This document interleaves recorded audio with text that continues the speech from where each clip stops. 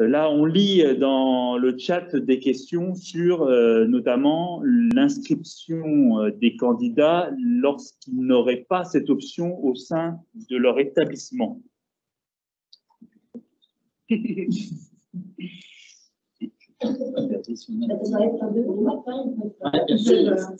Oui, je, pense qu'ils peuvent se présenter.